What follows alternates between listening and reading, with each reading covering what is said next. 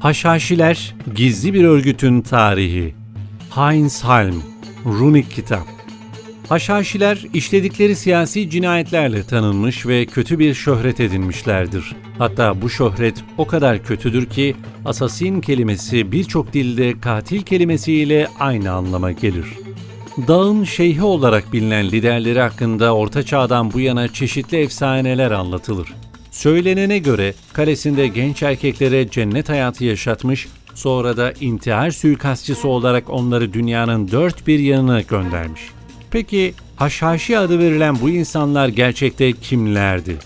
Heinz Heim, mevcut İslam ve Avrupa kaynaklarına dayanarak 11. ve 12. yüzyıllarda Şiilerin içinde yaşanan bölünmeden gizli bir İsmaili örgütün ortaya çıkışını, bu örgütün liderinin İslam'ın yazıya dökülmemiş, gerçek mesajını bildiklerine inandıklarını, İran ve Suriye'de birçok kaleyi ele geçirdiklerini, Haçlılara korku ve dehşet saldıklarını anlatıyor.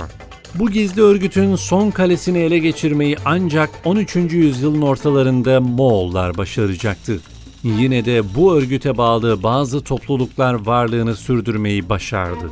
Bugün bile tartışmaların her zaman odağında olan bu gizemli örgütün nasıl ortaya çıktığını ve İslam dünyasında ne gibi çalkantılara yol açtığını anlamak için Heinz Halm'un kaleme aldığı Haşhaşiler önemli bir fırsat sunuyor. Heinz Halm 1942 doğumludur. Tübingen Üniversitesi'nde İslam Bilimleri Profesörü olarak görev yapmıştır ve Şii İslam konusunda otorite isimlerden birisi olarak kabul edilmektedir. Şii İslam, Haşhaşiler ve heterodoks İslam konularında birçok kitap yazmıştır.